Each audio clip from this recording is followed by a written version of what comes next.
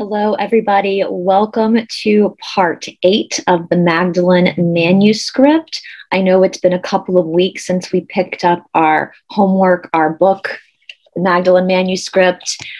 I thank you guys so much for being super, super patient as I last minute started to travel with Stephanie, even though it was last minute. It was totally, totally divine. Now, this is airing on Tuesday, July 12th. I am recording this, however, on Wednesday, July 6th at 7:02 a.m. I did get back from DC yesterday, and I don't know if you guys noticed, my voice is a little bit hoarse. Um, we filmed a lot. We have a lot of footage to go through. The places we've been so far are obviously DC. We went to the Isis Temple in Tennessee we went to the Georgia Guidestones, and of course, we did a lot in Atlanta and in Rome, Georgia. Now, again, I'm not sure when all that footage will air. I am going to start working on some of that footage this evening, uh, Tuesday, July 6th. So maybe by the time you're watching this, you've already seen some of the footage this is not the last of our travels together. In fact, we have way more locations in the works.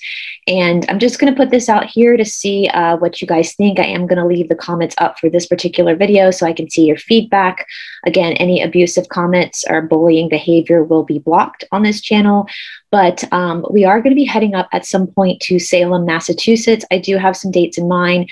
However, if you're following me along on Twitter, as I said yesterday, when I am in a particular location with Stephanie, I will be dropping footage in real time over on my Twitter account and sometimes on Instagram, depending on how much time I have in the moment to load stuff. But my Twitter account gets way more action than my Instagram account. That's why I'm putting most of that over there.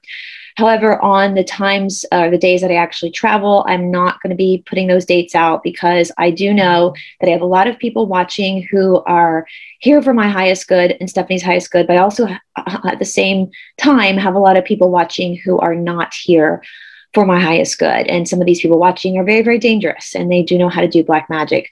So um, the dates of my travel will not be mentioned, but with that being said, when we're in Salem, we are considering doing a live event. Um, we're not, we don't know yet if it's going to be like a meet and greet or if we're going to film a live show in Salem. And um, if we can get enough people who can travel to Salem, Massachusetts to join us for this show, we will do a live show with the live studio audience if that's something you guys are interested in. We just have to figure out how many people would be able to make that journey into Salem. As I said on my Twitter yesterday, most of our traveling we're doing right now is actually all of our traveling we're doing right now is by car because I am distrustful of pilots who, you know, so until that's all rectified, I probably will not be flying for a while. I'm I'm a huge traveler. I have always been a huge traveler. I've spent most of my life going back and forth to different countries, but at this in this moment because of I'm just a little bit paranoid about getting on a plane. But driving is fine. Um, I don't mind driving. I've driven long road trips across the country many times, so that that's totally fine. But if you're close to Salem, or if you would be interested in making the journey to Salem, Massachusetts for a live show, for a meet and greet, whatever the case may be, please let me know down in the comment section below just so we have an idea. We might have to charge a ticket price very cheap, like $10, just so we can cover possible security. Because um, we might have to have a, a bit of a security system just to make sure that nobody nefarious is entering into the facility. Um, also, in case we want to offer like snacks or something for you guys, there might have to, that's all it would be, would just be to cover something like that. It, it would really literally just be to cover that. So just let me know down in the comment section below if that's something that you are interested in. All right, so today we're starting with um, page 136 in my book, which is, again, this is part eight, which is a brief comparative of internal alchemies. This is probably going to be part 8A.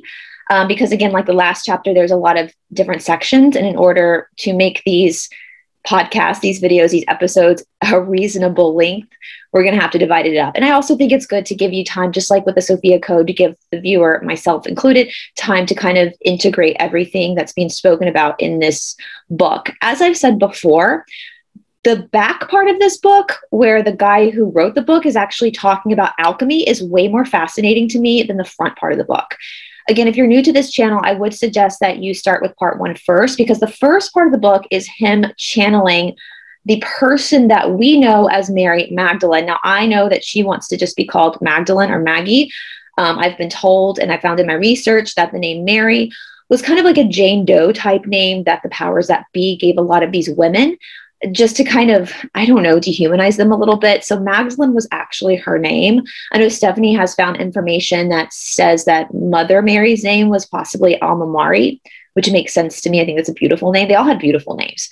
And, um, but the first part, as I've said before, there's a lot of confirmation bias because when this book was written, I believe it was written and channeled in the early 2000s. And as of a year ago, I would have believed everything about the crucifixion, all that kind of stuff, because we were so programmed. We've all been so, so highly programmed to believe that the person known as Jesus, Yahshua, she actually calls him Yahshua in this, which was his real name, Yahshua was crucified. Well, now I'm starting to see information, and my gut instinct is telling me he was never crucified. The crucifixion story goes with the Mithra story. And that's what the controllers want us to start worshiping is the Luciferian human sacrifices and the cannibalism, such as communion. And so he, he does, though, talk about uh, Yahshua's crucifixion. I think that's just confirmation by a bias, though, because that is what we have been taught over and over and over and over again. Um, but everything else in the uh, channeled section just confirm a lot of my research with the uh, priest and priestesshood of Isis, where Magdalene and Yahshua were not of Jewish descent; they were of Egyptian descent, meaning that they practiced um, and their spiritual life and their religious life was in the priest and priestess of Isis. And she speaks a lot about this. And so now he's getting into the alchemy of what all this stuff means, which does mirror a lot of what I've studied in, in India through yoga. I know in this section he's going to get into tantric yoga. There are typically two two um, paths of yoga. There's a, there's the Patanjali path and the tantric path. My actual practice is the Patanjali path. Um, but as far as the tantric information, it's all coming from the same source, which comes from the Yoga Korunta, it comes from the Yoga Sutras, uh, all the Vedic texts, the Upanishads, all these old texts, it's all coming from the same source. So I am fully aware of all the different channels of energy in the body because even in the Patanjali system, we do work with the energies within our body as far as the chakra systems, the two different nostrils, Sushumna, we just do it more with ourselves versus in the tantric system it's doing it with a partner. Both are valuable both are equally valuable basically. It just depends on your your preference in which one you practice. And i am getting more into the tantric stuff myself within my own my own practice. Um, however it's easy for me to slide into the tantric no pun intended, thinking of like sex magic slide into, um, slide into the tantric system because I'm highly educated in the Patanjali system, which again uses the chakra system as well, uses the Bandha system, uses all of these vayus, these pathways of energetic channels within the body, if that makes sense. So for me, that's super easy just to understand what he's saying and to kind of slide into that system as well. But if this is something you're super interested in, if you don't have this book, I would suggest getting it. I would also suggest finding a teacher. It is very important that you find a teacher. If you don't have a teacher, if you don't have someone to guide you through this, then the chances of it going awry, going bad, are very high, right? Because we have the ego, and so part of a, a part of the yoga practice too is to kind of understand what the ego is, and to understand that the ego is what is fearful. The ego is what has pride. The ego is what puts up obstacles for you. The reason that is, is because the ego is what is mortal. Your soul is not mortal. Your soul has no pride. Your soul is nothing but love. It's nothing but continual, unconditional love. The ego, though, is what has fear. Because when the day comes that your body passes away, the ego, the ego goes with the body. The soul doesn't. The soul lives on. So but sometimes this ego can be can be a bit of a trickster and so it's really important that you have a teacher there to kind of help you with your blind spots challenge you where you need to be challenged your teacher should not be somebody that coddles you or that is sweet to you they I mean they need to be nice to you but you know not abusive but they need to be very stern with you and so i would suggest that you find yourself a teacher if this is something that you're interested in just to help you maintain your um, it, maintain integrity within your path, if that makes sense. All right, so let's get started. So, again, this is page 136, a brief comparative of internal alchemies. So, this is a personal note from Tom, the guy who wrote this book. A primary task of Egyptian alchemy was taught by the Magdalene is to strengthen the Ka body, so like the energetic spiritual body. This is done through states of high ecstasy, since ecstasy and bliss strengthen the Ka. There are two primary paths that can be taken in this regard. For those in a sacred relationship exploring the sex magic of Isis, the ecstasy naturally arises during lovemaking.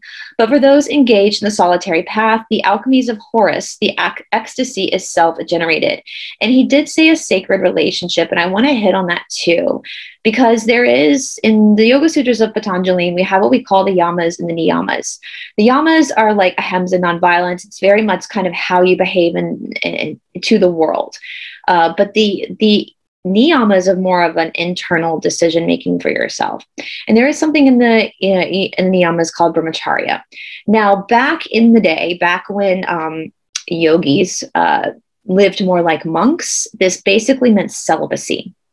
Now, for us who are what are considered householders, so I am not somebody who's celibate. Well, not somebody who's celibate. So basically, and you watching probably aren't celibate either. So basically, what that means as a householder, someone who is not a monk, who is not Brahmin, is that you have to now take that idea of brahmacharya, brahmacharya which was celibacy, and just basically now evolve it into meaning appropriate use of energy.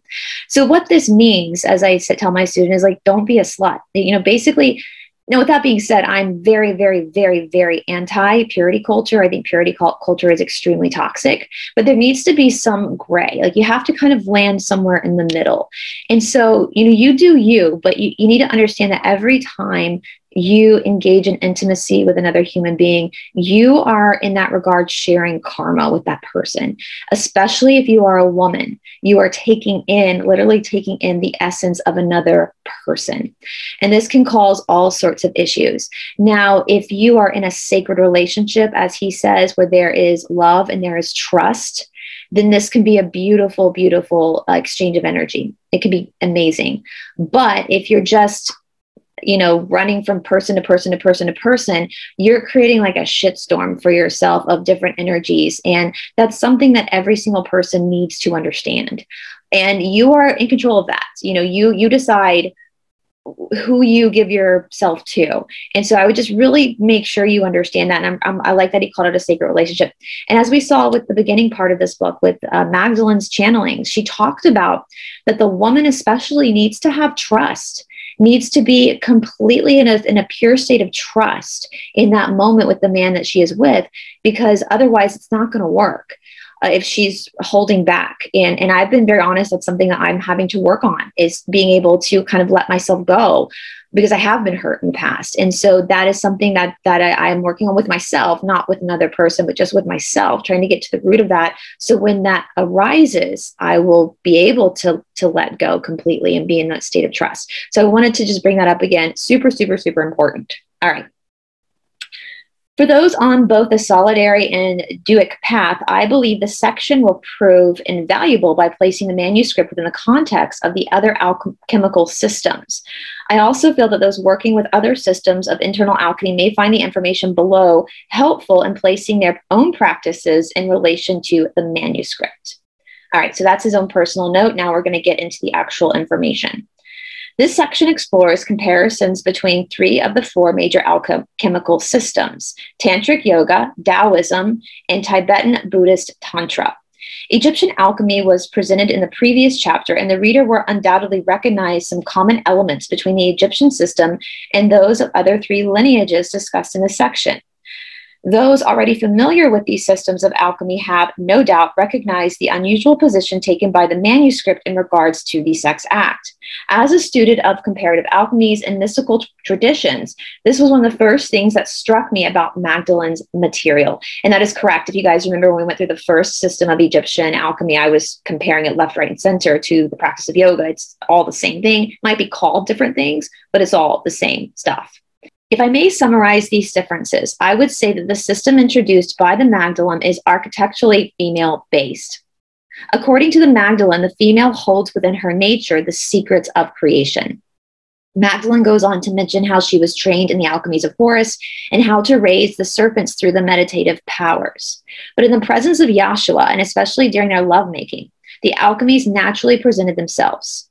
In other words, they engaged without her having to having to do anything. She speaks at great length about how the female must feel safe and appreciated in a relationship with her beloved, as I just said, 100%. Then and only then can the alchemies of transformation she calls the sex magic of Isis occur. If these elements, safety and appreciation, are in place within the relationship, the female can let go and allow the fem- feminine mysteries to express themselves through her. When this occurs during lovemaking, there is often a shuddering in the female. If she allows this shaking to proceed, it will take her deeper into these mysteries. If the male has trained himself to nest within the vibrational energies released by his partner, then both he and his beloved can strengthen their ka, bodies, one of the primary goals of this system. The central place of the female in this alchemical system is strikingly different from any other alchemical systems. In many regards, the main alchemical system of the world are male based. For instance, in Taoist literature, there are fewer written instructions for females than for males, even though Taoism is considered by some to be matrilineal linear in practice, at least in the last few hundred years. Most of the emphasis was upon the male practitioners. There were no doubt very developed female sages in China, but their presence is not generally represented in Taoist alchemy's treaties, with some notable exceptions. In fact, some Taoists practicing dual cultivation, the sex practices of Taoism, in previous centuries viewed women as mere containers of qi, these unscrupulous practitioners were engaged in the act solely for the purpose of extracting the female's excess chi with little regard for her comfort and safety.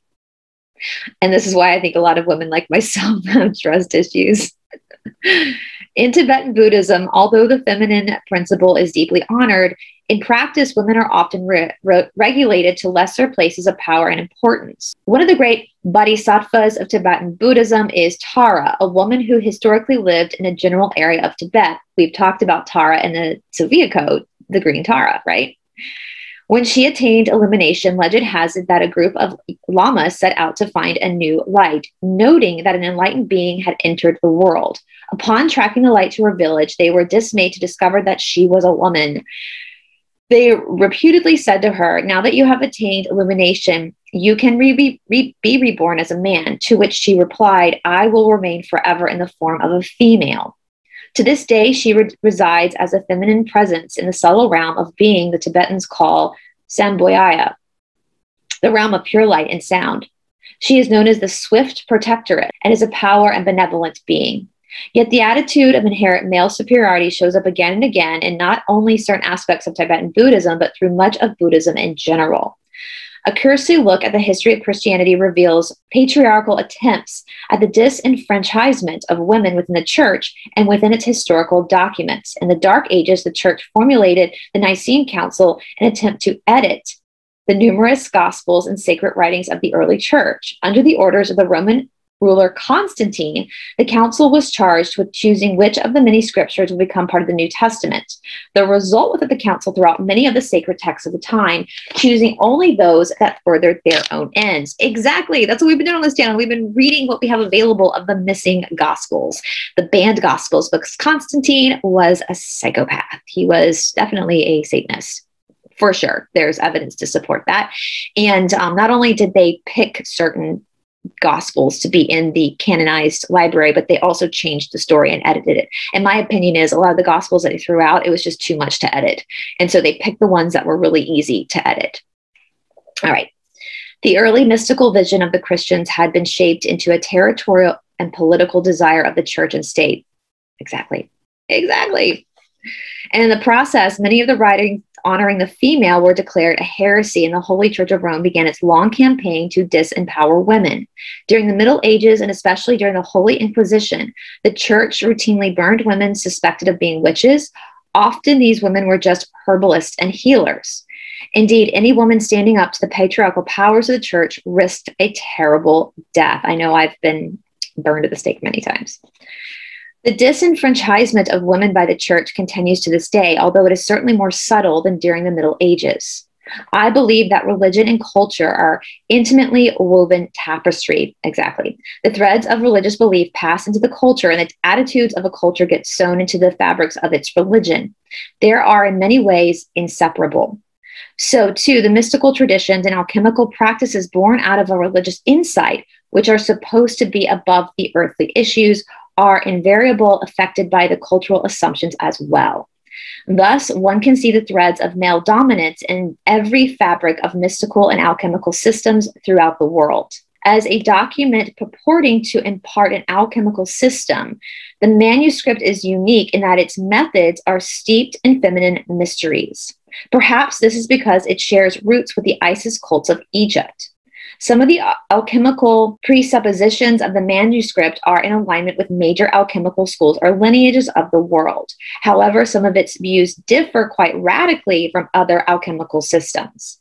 For example, the manuscripts hold the relationship between sexual partners in high regard. This intimate act is used to activate certain alchemies within the initiates, but the emotional relationship between the male and the female is viewed as a sacred foundation of these alchemies 100%. 100%. You need to be, in, in my opinion, you need to be in an intimate relationship with your best friend, with the person that you trust and love and who loves you in return 100%. For another, the female is, is seen as holding within her nature certain alchemical keys for transformation. These keys cannot be forced, but are accessed only when there is safety and love in a relationship. This approach makes the manuscript unique within other alchemical systems. Believing as I do in the power of synergy, I feel that those undertaking this personal experiments with the Magdalene material would do well to become aware of the other major alchemical schools accessible at this time. In other words, place the manuscript in context with other internally based alchemical systems. For this reason, I have presented a brief survey of three other major alchemical streams in regards to the sexual practices of internal alchemy. I present this in the hopes that it will provide in interested readers with a broader context of understanding the implications of the manuscript and to better utilize the practices to their benefit.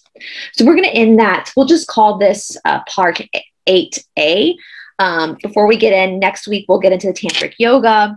And then from there, we'll move into the next section uh, in part eight, um, which I believe goes into Taoism and goes into uh, Buddhism, which um, I know that a lot of people are probably going to question that because we know that the Dalai Lama is very much a part of the controllers group. But I just want to say, with things like Buddhism and Hinduism, which Buddhism does come from Hinduism, it's basically a philosophy more than anything. There's not as much dogma as there is in maybe the Western perception of spirituality, where you have Christianity and other, even even with Eastern religions like Islam, there's more um, of a structure of a dogma of rules to follow, where in um, Hinduism and Buddhism, it's more of a philosophy. It's more of the independent practitioner taking control of their spiritual life through guidelines and a teacher. And so that's the big difference. And so even though the Dalai Lama might be corrupt himself, I still see a lot of value within uh, Buddhism and Hinduism.